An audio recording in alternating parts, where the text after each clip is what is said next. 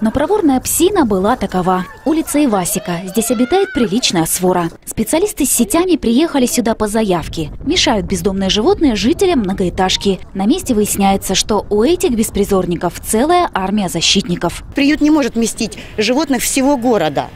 А очень много животных, я знаю сама лично, по улице Ивасика, которые своих животных вы- выбрасывают на улицу.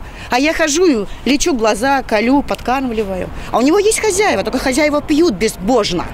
А животные выброшены на улицу. Пока люди отстаивают свободу собак, те незаметно убегают. По крайней мере, сегодня вольной жизни хвостатых уже ничего не угрожает. Обвели вокруг лапы и деру. Ловцы еще не приспособились поспевать за стаями, и машина с уже узнаваемой эмблемой ретируется.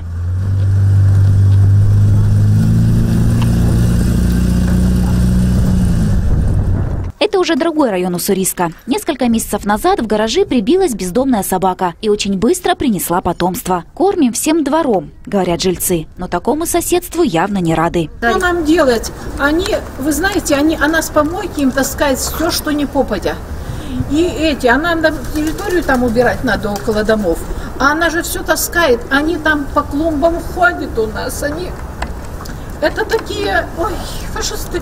Во дворе на угловой беспокоятся за чистоту клумб, а вот воздвиженки уже всерьез опасаются за жизнь и здоровье детей. Это кадры одного из городов России, где бездомные четвероногие напали на человека. Свора беспризорных собак пригорода Уссурийска в шаге от подобной агрессии. Есть такие случаи, это в основном село Воздвиженка, Тимирязевка, это детские сады, это больницы. Животные живут на контейнерных площадках, где, соответственно, добывают себе еду, тем самым бросаясь на детей, на людей и так далее. Так ловить или не ловить? Вот в чем вопрос. У главного собаколова Уссурийска своя точка зрения на этот счет. Геннадий уже повидал много историй о несчастливой собачьей жизни, да и кошачьей тоже. Теперь он точно уверен, свято место, пусто не бывает. Они обустраиваются на территории. На той территории может жить ровно столько собак, сколько может прокормиться на этой территории. Чужаков они не пускают.